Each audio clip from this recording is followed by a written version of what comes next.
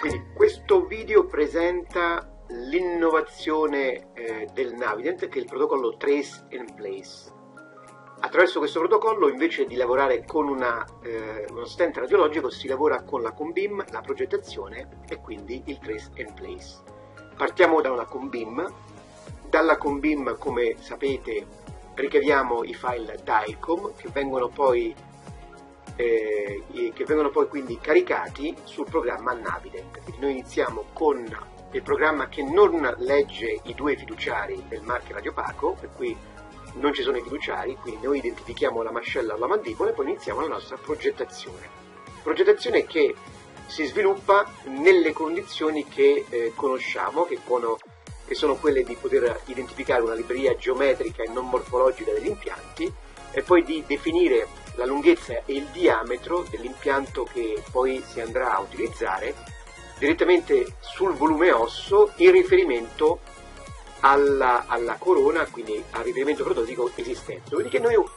utilizziamo uno starter kit che, che è costituito da questo tracker, da questo head tracker, che una, si sistema con dietro le orecchie del paziente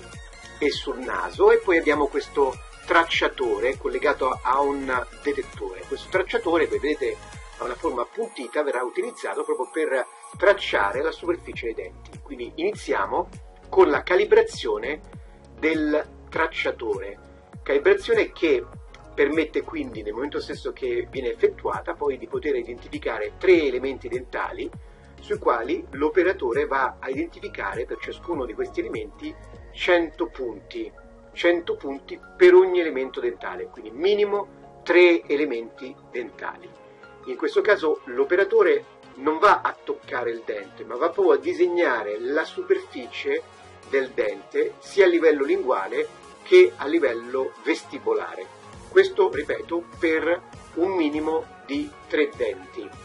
Quindi in questo caso noi vediamo l'operazione eh, che viene gestita con i numeri che crescono e quindi abbiamo i, i primi due elementi dentali eh, già mappati con il terzo da mappare. Questo lo vediamo in modo efficace anche da questa immagine che ci fa vedere un flag sui primi due, due, sui primi due denti, mentre una X sul terzo dente. Quindi anche qui si va e si continua, come vediamo anche da questa immagine, con il tracciatore a disegnare la superficie del dente e quindi attraverso questa operazione, una volta finita, noi otteniamo eh, appunto una mesh tridimensionale delle superfici in tre denti che viene, che viene matchata con le immagini DICOM e quindi otteniamo in questo senso un'informazione che ci, eh, ci, dà, ci garantisce sulla precisione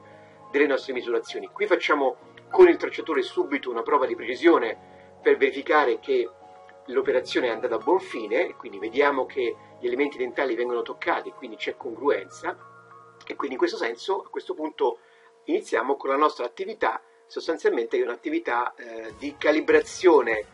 dell'asse del contrangolo e della lunghezza di lavoro della fresa e non solo di questa ma anche come sappiamo appunto con la prova di precisione che segue la calibrazione della lunghezza di lavoro. Prova di precisione che consiste appunto nel toccare un dente adiacente nella zona in cui sembra operare e trovare anche qui congruenza tra quello che io vedo e quello che io faccio. Dopodiché l'operazione che viene sviluppata è quella di appunto avvicinarci all'impianto progettato, comparirà un target e quindi si seguirà l'asse con una visione in diretta, quindi con l'operatore che guarda lo schermo del computer e con un'attività che non è soltanto limitata all'ostotomia ma anche all'inserimento degli impianti, perché anche in questo senso appunto l'attività può essere un'attività guidata dinamicamente. Per quanto riguarda invece la mandibola abbiamo un tracciatore di mandibola che viene fissato eh, con un processo di fotopolimerizzazione su un dente disponibile e il processo è esattamente uguale a quello che abbiamo fino adesso presentato. Grazie!